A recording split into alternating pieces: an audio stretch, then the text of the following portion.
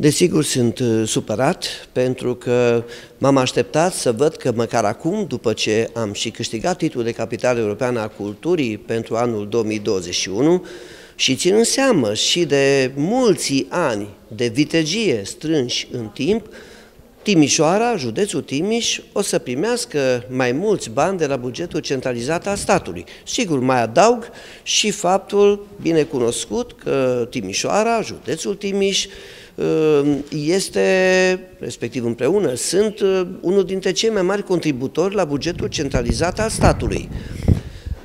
Sunt uh, dezamăgit că toate amendamentele cu care colegii parlamentari liberali de Timiș au venit, ca să mai dragă câte ceva din prevederile proiectului de lege a bugetului, au fost respinse. Și cred că dacă și spun despre ce amendamente e vorba, orice cetățean va fi revoltat, cum sunt și eu, de lipsa de receptivitate la nevoile orașului și județului nostru.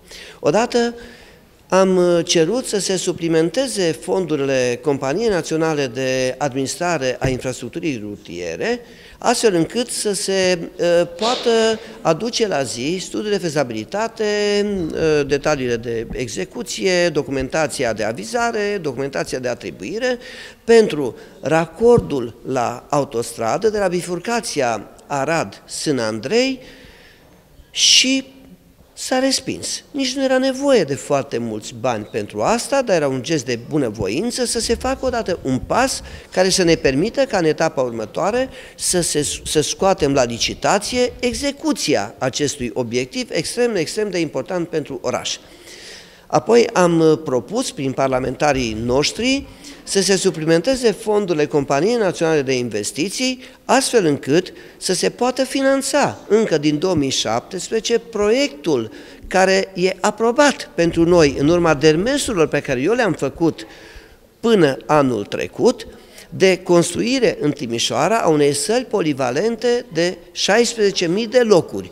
Eu cerusem de 15.000 de locuri, dar uh, specialiștii au ajuns la concluzia că e mai rațional să fie de 16.000 de locuri. Ei bine, s-a respins și acest uh, amendament. Degeaba e aprobat obiectivul pe o listă dacă nu primește bani, să și demareze prin primele etape pentru oricare obiectiv, elaborarea studiului de fezabilitate, asta e prima uh, etapă, nu se poate întrevedea și un moment uh, optimist al uh, ajungerii să dispunem de un asemenea obiectiv. Ori până în 2021 ar trebui să fie gata, ca să avem sala polivalentă mare în anul când vor fi, vom fi capitală europeană a uh, culturii.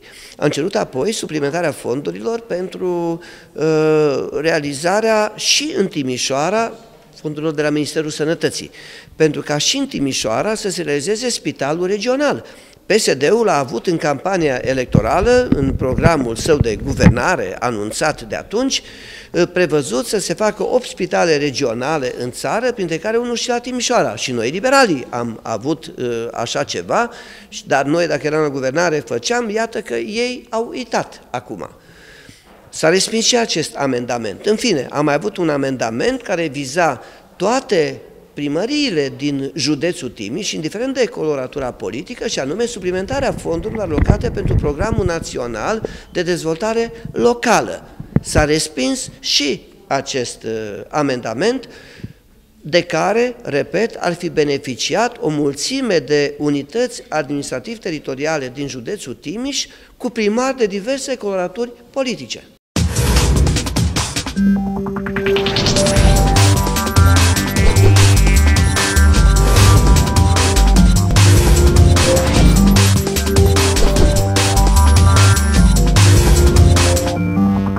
you.